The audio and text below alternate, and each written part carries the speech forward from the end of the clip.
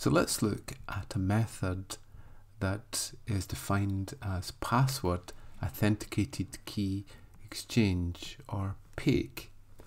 Is it possible for Bob and Alice to have a secret, say a password, and then for them to derive an encryption key, say for a session, uh, based on that secret password? And if Eve doesn't know what the uh, password is, it's not possible for her to derive the encryption key which is being generated. So the method we'll look at is called encrypted key exchange or EKE.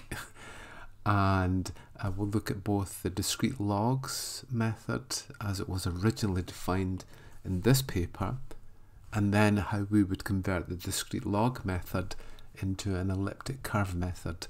So generally, uh, many of the methods that we use were originally defined as discrete log methods, but unfortunately we're now looking at thousands of bits long for the prime numbers used with these discrete log methods to keep them secure.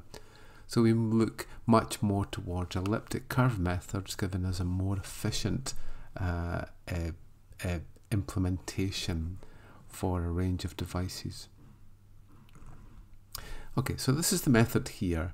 So let's say Bob and Alice have a secret. Let's say it's a password. And from that, they, uh, they both take a hash of the password and then use a key derivation function such as bcrypt uh, to be able to generate a shared uh, secret uh, password. They can then use this in terms of creating an encryption key which is used within inside the key exchange method. So it's a bit like the Diffie-Hellman method, but we're now going to encrypt the values that are actually sent and we won't actually expose things like public keys. Okay, so without uh, uh, the encryption, we would normally allow uh, Alice to generate an, a random A value. Then we take in discrete logs g to the power of A uh, mod p. And then that would be passed but within the encrypted key exchange method, we encrypt that value with, uh, with the symmetric key derived from uh, the hash version of the password. So that might be 128 bits or 256 bits, but it's probably going to be something like AES encryption. Okay, so Alice takes the hash of the password and uses a key derivation function to be able to generate the encryption key which is going to be used to encrypt her public key. Then uh, it goes back and uh, Bob will be able to decrypt that uh, here and then he raises that value to the power of b and overall, just as the Diffie-Hellman method would define, we end up with a value of g to the power of ab mod p. That is going to be the uh, encrypted, uh, the, the secret key they're going to use for this session. Now, Bob will re-encrypt this part here. Uh, sorry, will, re will encrypt his public key g to the power of b mod p with the encryption key that Alice used uh, to encrypt with the symmetric key. So it's this one here, because he can also generate that. But he will now take the new key that has been generated, this key, and only when that's created will Alice then be able to uh, uh, uh decrypt a challenge that he sent. So he might have a challenge of the word Bob. So he challenges uh, Alice to be able to find that key, to be able to decrypt the challenge. And he wants her to re encrypt using that key that has been derived, which is g to the power of ab, uh, back so that she can be proved. When Alice receives this back, uh, she'll take Bob's value, just like the Diffie-Hellman method, and she'll, well, she'll decrypt initially Bob's public key here, uh, which is there, and then she'll raise it to the power of A, and magically she has now created the same key as, as Bob. With that key, she can now decrypt the second part, which is the challenge from Bob. So she might get back the word Bob. Now, what uh, Alice does is take that challenge and add our own challenge, and then we'll encrypt the two of them together uh, to create an encrypted version with the new key K.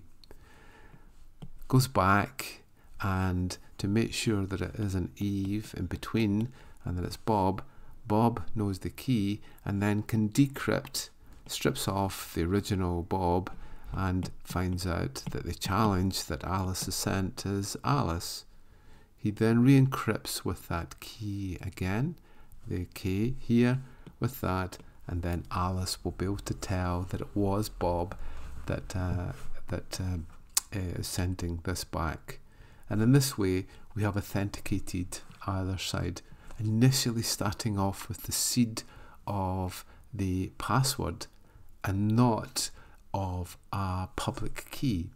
So if we don't trust digital certificates and the PKI infrastructure, it may be better for Bob and Alice to share some sort of secret and then for them to derive the encryption key that they're going to use, which is K in this case, for uh, a session. So here is the method uh, here. So we'll just have a look here and we'll see here that uh, we're, we're hashing our value there and then creating a, an integer value. We then add a bit of salt and we'll create our key using PBKDFS2, which is a bit like bcrypt. Uh, it's used in, in Wi-Fi, uh, but this will create a key for us based on the hashed value of the password. So the key uh, is, is here, and this will be the symmetric key which is used for uh, the initial uh, negotiation process. Only if Bob and Alice can generate that same key will they be able to decode the things that go back and forward initially. Okay, so we've created an encryption here. Uh, we'll take uh, um, the uh, cipher. So that's g to the power of a mod b, and Bob has g to the power of b mod p. We then encrypt that value with the key that we've generated and then that becomes this cipher that goes over uh, here. Then after that uh, we can then oops, then after that uh, we'll, uh, Bob will receive it and then decrypt it here using the same key that uh, both Bob and Alice have agreed. Uh, gets the, the value back and then is able to uh, raise the received value to the power of b to give the key. This will be the key that both Bob and Alice will use. Again, we can go through and then we can encrypt this and so on. Okay, so we can try this out if we want. Be able to look at the code, so we'll just try it with 128-bit uh, values. So here is the shared uh, password. There's the derived key that's going to be used for the symmetric encryption. This is the cipher that uh, Alice sends. Uh, Bob will be able to decrypt that, generate the same uh, key, uh, sorry, decrypt that, use his B value, and then generate the new key, which is the K value that we have there. Bob sends the cipher back Alice can decrypt it and then uh, we see the challenges coming through uh, here.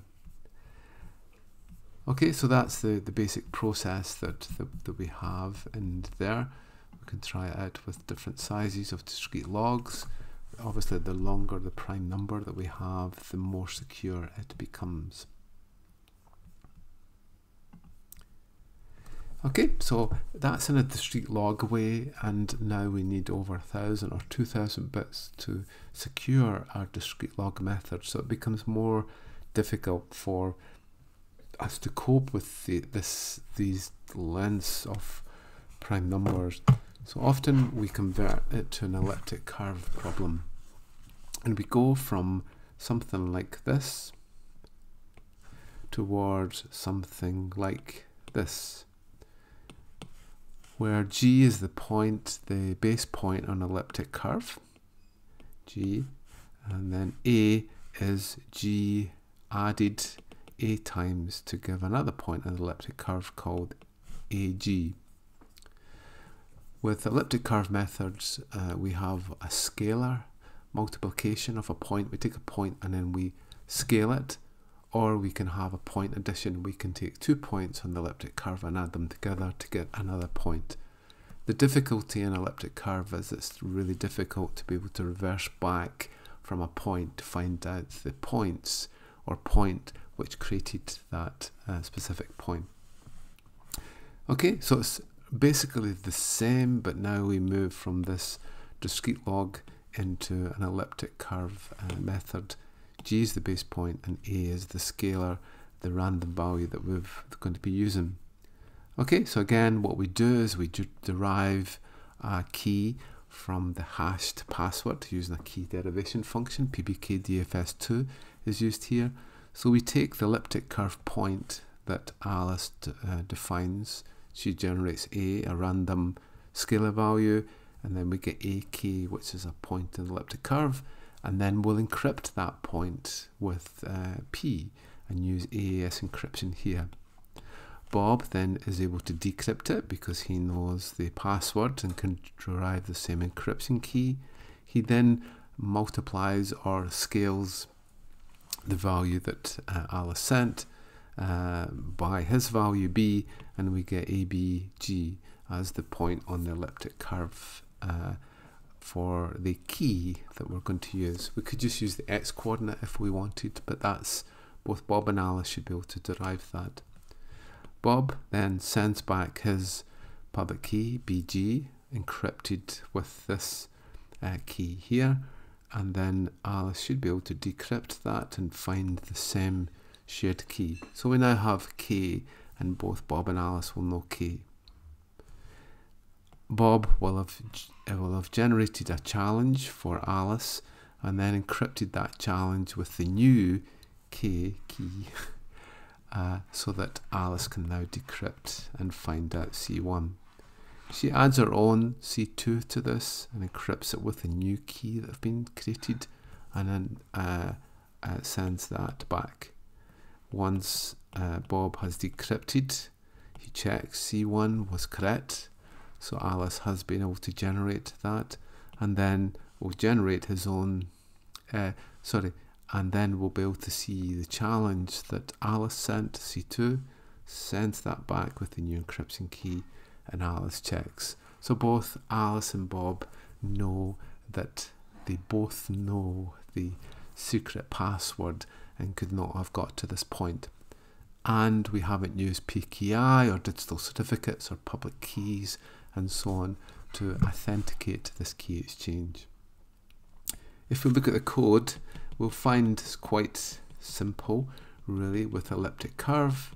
Uh, all we've got is a scalar multiply as we have here as a method and uh, the scalar multiply and this time we've got uh, two point so two points will allow us to be able to match uh, uh, an elliptic curve point and will allow us to map uh, a hash value, our hash value, our sorry, our our our password to a point on the elliptic curve.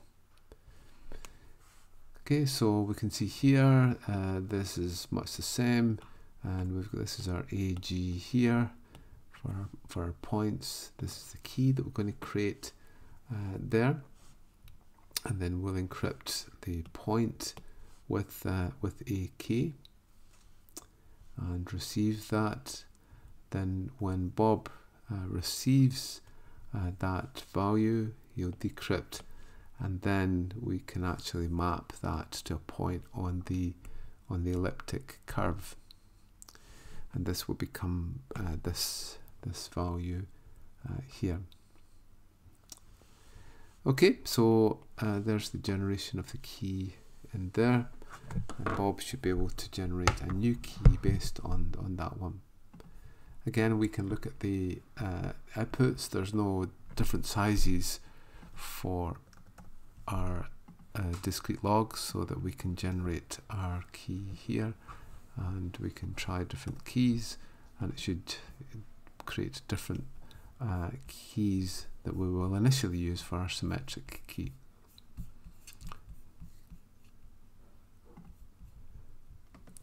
Okay, and that's basically the method there, how we can create encrypted key exchange uh, using symmetric key encryption and also having our passwords as our secret.